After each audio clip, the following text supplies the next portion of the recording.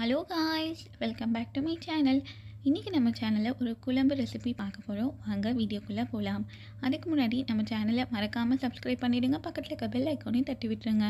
மேலும் வீடியோஸ் போட மோட்டிவேட்டிங்காக இருக்கும். கேஸ் ஸ்டவ்வில் ஒரு நான்ஸ்டிக் ஃப்ரை பேன் வச்சுக்கலாம். ஃப்ரை பேன் லேஸாக ஹீட் ஆகிட்டக்கப்புறம் ஒரு டீஸ்பூன் அளவுக்கு வெந்தயம். ரெண்டு டீஸ்பூன் அளவுக்கு மிளகு. ரெண்டு டீஸ்பூன் அளவுக்கு ஜீரகம். சேர்த்துட்டு இதை நல்லா ஃப்ரை பண்ண போகிறோம் லோ ஃப்ளேமில் வச்சு தொடர்ந்து ஒரு பத்து நிமிஷம் ஃப்ரை பண்ணி விடுங்க. ஜீரகம் சீக்கிரமாக ஃப்ரை ஆகிடும் லேசாக கலர் மாறின உடனே எடுத்துடலாம். பத்து நிமிஷம் கழித்து இந்த மாதிரி கலர் மாறி இருக்கும். இதை ஒரு பிளேட்டில் ட்ரான்ஸ்ஃபர் பண்ணிடலாம். அதே பேனில் நாலு டீஸ்பூன் அளவுக்கு கடுகு சேர்த்துக்கலாம். கடுகு நல்லா பொரிய ஆரம்பிக்கணும். இந்த அளவுக்கு நல்லா பொரிஞ்சதுக்கப்புறம் கேஸ் ஸ்டவ் ஆஃப் பண்ணிடலாம். இதையும் பிளேட்டில் சேர்த்துட்டு இதை நல்லா ஆற வச்சுட்டு மிக்ஸி ஜாரில் சேர்த்து இந்த மாதிரி பவுட்ரியாக அரைச்சி எடுத்துகிட்டு வந்துடலாம். தண்ணி சேர்க்காமல் அரைச்சிக்கோங்க. கேஸ் ஸ்டவ்வில் மண் சட்டி வானல் வச்சுக்கிட்டு நல்லெண்ணெய் சேர்த்துக்க போகிறேன் ஒரு டேபிள் ஸ்பூன் அளவுக்கு நல்லெண்ணெய். எண்ணெய் நல்லா சூடாயிட்டதுக்கப்புறம் பத்து பல் போல் பூண்டு தோல் நீக்கிட்டு சேர்த்துக்கலாம். ஒரே ஒரு பச்சை மிளகாய். சின்ன வெங்காயம் பத்து போல் சேர்த்துக்கலாம். அதை இந்த மாதிரி கட் பண்ணி சேர்த்துக்கோங்க.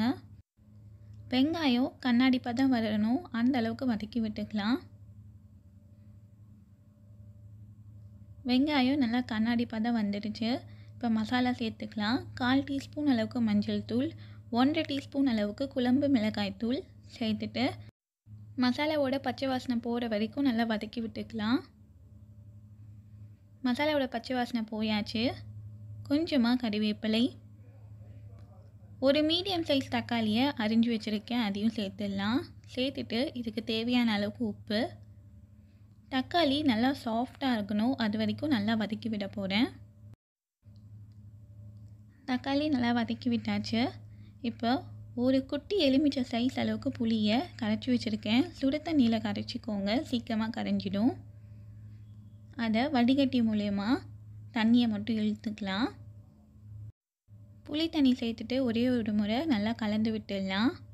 புளி தண்ணியோட பச்சை வாசனை போகிற வரைக்கும் வெயிட் பண்ணலாம். லிட் போட்டு க்ளோஸ் பண்ணிவிட்டு ஒரு அஞ்சு நிமிஷம் லோ ஃப்ளேமில் விட்டு எடுத்துடலாம். அஞ்சு நிமிஷம் கழித்து பார்க்கலாம். புளி தண்ணியோட பச்சை வாசனைலாம் போயிடுச்சு. நல்லா கொதிச்சு வந்திருக்கு. இப்போ பவுடரை சேர்த்துக்கலாம். பவுடர் சேர்த்த உடனே நல்லா இப்படி கலந்து விட்டுருங்க. கலந்து விட்டுட்டு ஒரே ஒரு கொதி வரணும். இந்த மாதிரி கொதித்து வந்த உடனே ஆஃப் பண்ணிடணும். கேஸ் ஸ்டவ் ஆஃப் பண்ணிவிட்டு ஒரு ஸ்பூன் அளவுக்கு நாட்டு சக்கரை சேர்த்துக்கலாம். நீங்கள் வெல்லம் கூட சேர்த்துக்கலாம். இதை கலந்து விட்டுடலாம். ரொம்பவே சுவையான கடுகு குழம்பு ரெடி ஆகிடுச்சு நீங்களும் இதை ட்ரை பண்ணி பாருங்கள் டேஸ்ட்டு ரொம்ப டிஃப்ரெண்ட்டாக இருக்கும். ட்ரை பண்ணி பார்த்துட்டு உங்கள் கமெண்ட் சொல்லுங்கள் மறக்காமல் நம்ம சேனலை சப்ஸ்கிரைப் பண்ணிடுங்க. பக்கத்தில் இருக்க பெல் ஐக்கானையும் தட்டி விட்டுருங்க. தேங்க்ஸ் ஃபார் வாட்சிங்